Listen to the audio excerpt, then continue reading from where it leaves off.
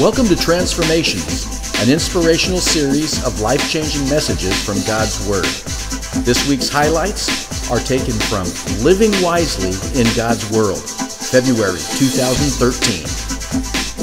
In the book of Proverbs, chapter 1, verses 10 through 19, God is very firm in his warnings to us about the destructive influences of ungodly people in our lives.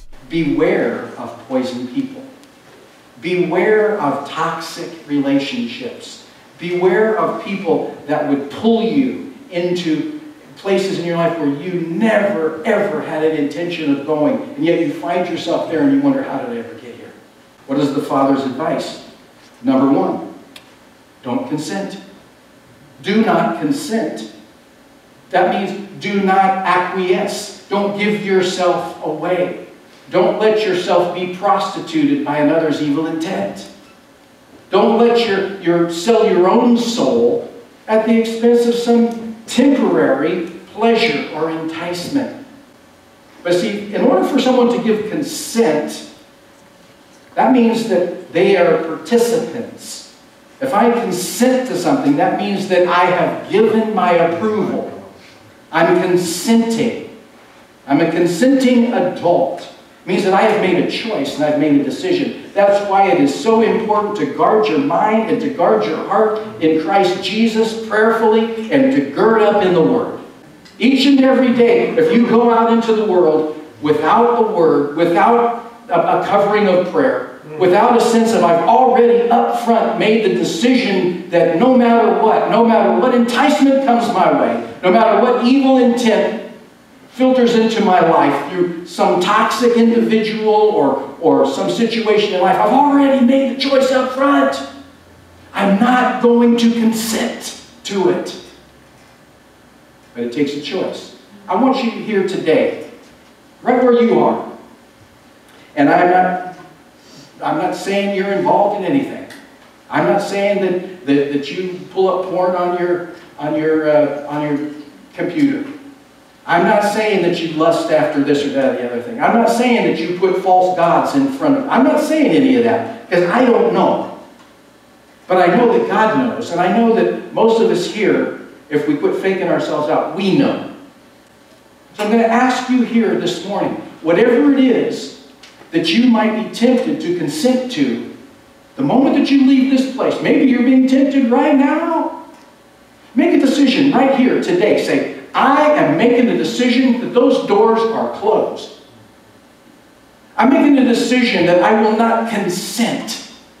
And I'm going to ask God to replace my heart of lust, to replace those things that would waylay me, those temptations, those things that might trip me up, including those people that are toxic in my life. Give me the strength to be able to stand up and make a godly choice and walk straight.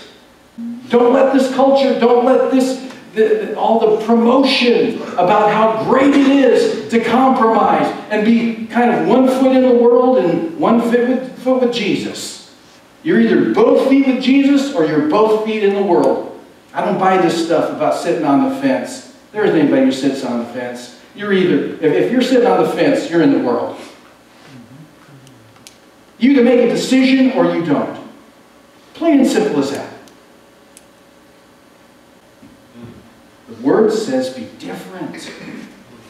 Be somebody who, when people look at you, there is no question. You're not a fence rider. You're not some shade of gray.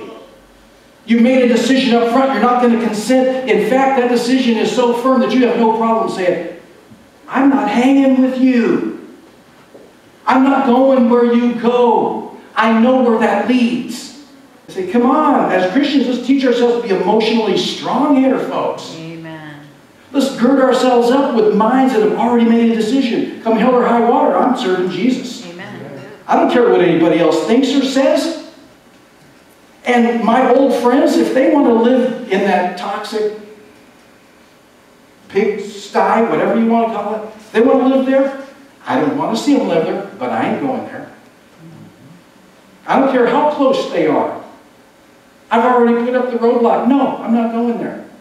I will minister to you. I will love you. I will pray for you. But I'm not going to hang out with you and have a good time. that gives you the wrong message.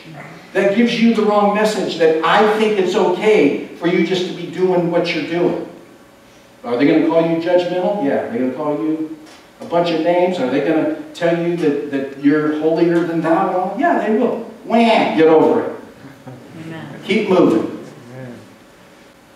But because of his resurrection, we now have the power of the Holy Spirit that operates in and through us, and that is a power that has the capacity and the ability and the desire to live in and through you and I so that evil does not have its way in our lives. Here are some questions and some action steps for you to consider. Number one, are there any toxic people in your life that are influencing you to make ungodly choices? Perhaps it's time to change your circle of friends. Number two, are you being a godly influence to the people in your life? Make a decision today that your life is going to be a reflection of Christ. And number three, do you want to make a godly impact on a lost and dying world? If so, be a person of the Word, of prayer, and who chooses to make wise choices, whatever it takes.